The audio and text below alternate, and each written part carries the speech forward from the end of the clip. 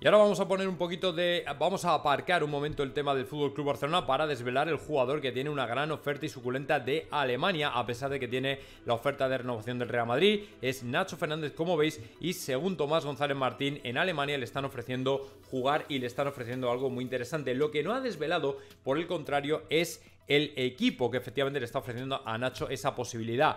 No lo sé, yo no voy a especular con nombres porque no tengo ni idea, pero sí que es cierto que Nacho lógicamente todavía tiene buen cartel, porque encima es un jugador que todavía, al que todavía se recurre cuando faltan o fallan los centrales titulares y que encima cumple con nota. O sea, no es un jugador cualquiera, no es un jugador que la gente pueda pasar por alto, no es un jugador que digas, bueno, está en el banquillo, ya no juega, no es un Vallejo, no es un, eh, no lo sé, un Mariano, no, no, no, Hazard, no, es Nacho que cuando juega, juega y muy bien. Y lógicamente a partir de aquí todos tenemos que tener en cuenta que Nacho Fernández tiene todavía mucho y muy buen cartel. Así que bueno, vamos a esperar, vamos a ver si efectivamente la cosa va por ahí, por ese sentido, en el sentido de decir, oye, ¿qué va a hacer Nacho? Porque lógicamente a nosotros nos encantaría que se quedara, pero si al final él no es titular o no juega los minutos que esperaba o lo que fuera, ya lo dijo él mismo. O sea, no solo depende de mí. Evidentemente el Real Madrid también tiene que mostrar que le interesa porque si Ancelotti no cuenta con él, pero por el contrario, es de lo mejorcito,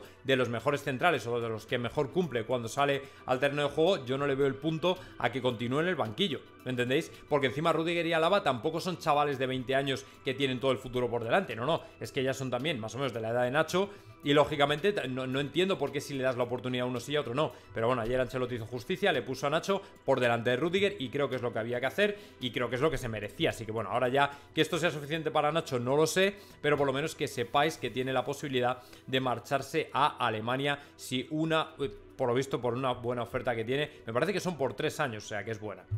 Y ahora no sé si habéis leído algo acerca del tema o habéis visto algo acerca del tema, pero ese que tenéis ahí, que es Sergio Ramos, se le fue la cabeza completamente, una ida de olla total, y han desvelado, han filtrado ese vídeo en el que se le ve al camero empujando agresivamente a un fotógrafo. Primero le da un toque al primero, un codacito cariñoso, como diciendo estoy aquí, y al segundo ya lo aparta, pero de muy mala hostia. Además, esto fue después, me parece que de la derrota frente al Bayern de Múnich o frente al Mónaco, uno de las dos, donde fueron a pedir y aplaudir a la afición, lógicamente para pedir disculpas por la derrota, y al final lo que se ha encontrado es precisamente esto, ¿vale? Con que estaba bastante cabreado y en mi opinión es por lo que empujó eh, a, estos fotógrafos. Bueno, de Ramos, por cierto, os dejé ayer una exclusiva en, el que, en la que decía que su entorno ya está hablando con Arabia, presumiblemente el Al-Nasser. Todavía no sabemos nada, ¿vale? Todavía no está claro a qué equipo iría, pero sí que están abiertos a marcharse, puesto que en el Paris Saint-Germain, por lo visto, no tienen del todo claro su renovación, seguramente por la edad que tiene, aunque no lo está haciendo mal. Sinceramente, creo que la temporada pasada fue bastante de lejos, bastante peor. En esta temporada, por el contrario, ha mejorado bastante. Y lógicamente si ya habla también Pedrerol y pide una investigación e ir a fondo, chicos, ¿yo qué quieres que te diga? Decía Pedrerol ayer en su editorial en Jugones algo que a mí me parece muy sensato y muy lógico y muy noble y que además le honra. Dice, no vale defenderse con el argumento de que se intenta desestabilizar, hay que investigar y por el bien de todos también el del Barça, llegar hasta el final. Lógicamente aquí deberían rodar cabezas. El problema es que estamos viendo un inmovilismo que a mí personalmente me preocupa. O sea, me preocupa muchísimo que de momento todavía no hayamos oído nada de sanciones, no hayamos oído absolutamente nada acerca de lo que le puede ocurrir al Fútbol Club Barcelona y que por el contrario estemos especulando con la posibilidad de que se salgan con la suya sin ser sancionados de ninguna manera. Me parecería absolutamente vergonzoso que así ocurriera y si ni el propio Pedrerol, que es del Barça, ni el propio J. Jordi están diciendo que no debiera eh, investigarse o que sean completamente inocentes, sinceramente creo que ya es de, juzgado de guardia que incluso, incluso los propios culés estén diciendo que hay que investigar y todavía no se investigue o no se sancione o no se venga con algún tipo de decisión firme y tajante para cortar de raíz cualquier conato de corrupción en el fútbol español, sobre todo con respecto al tema de los árbitros, que en, España es un tema muy polémico. Así que bueno, pues nada, ahora ya cada uno que haga lo que quiera, pero yo para mí, igual coincido con Pedrerol, si no se investiga esto será una causa, un motivo más de vergüenza dentro de un fútbol español que está absolutamente podrido y corrupto y que vendría a confirmar precisamente que un club puede pagar a árbitros un millón y medio de euros, una burrada, y todavía todavía salirse con la suya y que no les ocurra nada. A mí me parecería absolutamente vergonzoso. Pero esto es lo que hay, amigos. Es el fútbol español y sinceramente no le veo ninguna lógica, ningún sentido. Pero al final te vas, al final nos vamos a tener que comer con que se van de rositas y absolutamente nadie hace nada. O sea, estos tíos en cualquier otra división, en cualquier otro país, ya estarían o bien sancionados o relegados o lo que fuera. Y bueno, una información que venía de Gerard Romero y que ha levantado bastante polvareda es que Jorge Messi estaba ayer en Barcelona. No se sabe todavía por qué, pero esto coincide con una noticia que viene de París y es que Messi podría no renovar su contrato con el Paris Saint Germain. No tengo ni idea absolutamente y no creo sinceramente que se esté pensando en una vuelta, en un retorno de eh, Leo Messi al Fútbol Club Barcelona. Pero sinceramente creo que algo así podría ocurrir, ¿por qué no? Evidentemente es complicado averiguar por qué. A ver, los Messi creo que tienen todavía cositas en Barcelona a nivel de casas, propiedades, eh, negocios o lo que sea. Entonces puede ser que sea por ese que sea por eso el motivo por lo que el padre de Messi vino ayer o quizá por el contrario llevar algún, a, cabo algún tipo de acercamiento. Como veis, eh, Leo Messi eh, parece que no va a renovar o por lo menos que no tiene claro. Va a tener otra reunión con el PSG según el equipo pero no parece del todo claro que vaya a renovar con los parisinos. Entonces, en este sentido, vamos a tener que esperar un poco más para saber qué ocurre, pero el hecho de que eh, Gerard Romero dijera esto, bueno, él tiene lógicamente muy buena información y en este sentido, pues casi casi que tenemos que asumir que muy probablemente, ¿vale? Muy probablemente este Leo Messi, eh, no sé, por algún motivo que no sepa, no renueve con el Paris Saint Germain, pero no sé, es que yo no me atrevo a vincularlo al Fútbol Club Barcelona después de lo que dijo su hermano, que eran unos desagradecidos, que no, que ni de coña volverían al Barça, porque mientras esté la porta ellos no van a volver, porque bueno, le tienen pues eso, como un traidor y cosas de este tipo. Así que bueno, vamos a ver, vamos a ver qué pasa, pero desde luego su padre estaba ayer en Barcelona es por lo menos sospechoso, por lo menos digno de hacerse eco de ello. Así que bueno, veremos a ver Veremos a ver qué ocurre, veremos a ver qué pasa, veremos a ver si efectivamente eh, Leo Messi al final renueva o no renueva, porque también podría ser un bofetón y grande al jeque, puesto que al final el jeque está casi asumiendo que iba a renovar y lo que puede pasar es que se le vayan todos, Mbappé, Neymar y Messi.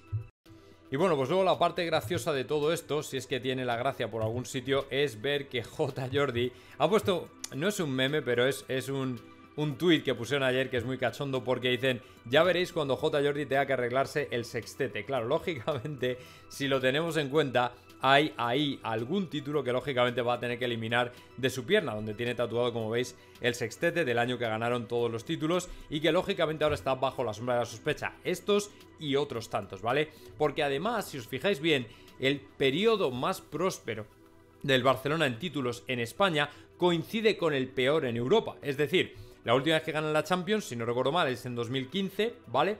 Y luego vienen las sucesivas eliminaciones, Roma, Liverpool, tal, tal, tal, con vergüenzas espectaculares, vaya, de Múnich. Entonces, en todo ese periodo no ganan nada en Europa, ¿vale? Y anterior a 2015 no gana nada en Europa y por el contrario lo están petando en la liga. O sea, son cosas que dices, hombre, hay una disonancia importante, digna desde luego de ser bastante sospechosa. Pero bueno, aquí nos vamos a quedar con la parte graciosa del vídeo, en el sentido de que J. Jordi se va a tener que eh, eliminar el tatuaje, por lo menos algunos de esos títulos. Quizá la Copa Europa no, pero desde luego la liga eh, o la parte internacional no, a nivel de, de, mundialito, la Champions y tal, pero desde luego la parte de la Copa del Rey, la Liga, yo personalmente creo que está todavía bajo la sombra de la sospecha y para mí, sinceramente, creo que debería ser motivo como para que el famoso barcelonista se lo, se lo hiciera ver y pensara probablemente en quitarse todo eso de en medio. Así que bueno, veremos a ver qué ocurre si efectivamente J. Jordi se borra algunas o todas o parte de esos trofeos porque ahora mismo ya sabemos que están todos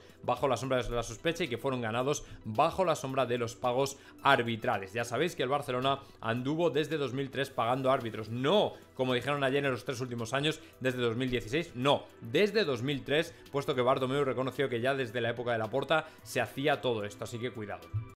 Y bueno, a nivel internacional y aparte del escándalo del Barça, decían Messi se aleja del PSG, según el equipo, el jugador va a mantener otra reunión con el PSG para renovar, pero aunque se estaba dando ya por hecho, ¿vale? Al que la IFI lo daba por hecho, al parecer la cosa no es tan fácil y Messi podría salir del Paris Saint Germain esta temporada. Será un éxodo, en mi opinión, masivo. ¿Por qué? Porque si Messi finalmente confirma que se va, no solo será él, Neymar probablemente también se vaya. Sergio Ramos tiene toda la pinta de que se va a marchar también y encima, si además salta el tema de Mbappé, que también se va, se van a quedar sin nadie. Así que o bien aprovechan para reinventarse y hacer el proyecto de otra manera, o bien van a cuchilla por más jugadores e intentan comprar lo que no hay en los escritos. Así que cuidado con el PSG este verano, que puede ser otra vez el gran protagonista del mercado, fichando a De Huello, fichando a Saco y desde luego poniendo a todos los demás en un brete, incluidos a los equipos de la Premier. Por cierto, que saltó una noticia sobre el Chelsea y Neymar. ¿Vale? Que habría reunión cumbre o cumbre eh, Chelsea-PSG por Neymar. Yo pensaba que no había relación después de lo que pasó con Ziyech, pero sí parece que algo hubo, algo ocurrió y bueno, pues en ese sentido vamos a tener que ver a ver qué pasa porque Neymar podría estar cerca de salir del PSG y marcharse al Chelsea. Como digo, un éxodo, un éxodo que no va a ser hipermasivo, pero que se va a ver o va a ser testigo de la salida de diferentes figuras del Paris Saint Germain. Así que veremos a ver en qué queda todo esto, veremos a ver si efectivamente ocurre, si Leo Messi finalmente tiene pensado eh, otra cosa, marcharse a Arabia, Estados Unidos o a donde sea, o incluso retornar al Fútbol Club Barcelona, si es que es verdad que eh, Jorge Messi estuvo anoche en Barcelona según Gerard Romero. Yo esta posibilidad, verdad, que la veo muy complicada porque al final la relación acabó muy mal, o sea que no veo posibilidad de que Messi regrese al Fútbol Club Barcelona con la porta de presidente, pero como digo, en el mundo del fútbol todo puede pasar, aunque el Barça mismo no está para hacer ningún tipo de locura, o sea que veremos a ver qué ocurre.